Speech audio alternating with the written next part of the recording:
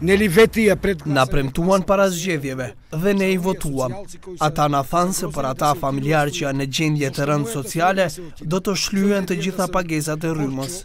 Kjo është një deklaratë e një qytetari të manipuluar gjatë kohës së zgjedhjeve të fundit, i cili shpjegon se ballafaqohet me një situatë të rëndë sociale.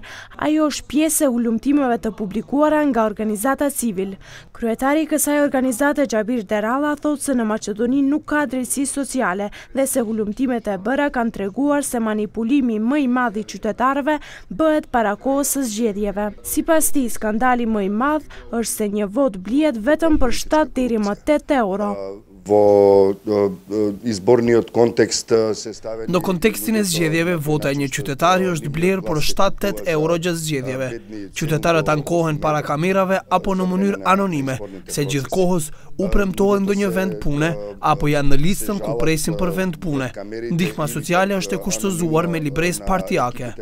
Ndërkaq, Milan Zhivkoviq nga Fondacioni Friedrich Ebert Stiftung apelon se qytetarët të lajmërojnë çdo keqtrajtim që bëhet nga partitë politike, e veçanërisht gjatë kësaj periudhe parazgjedhore.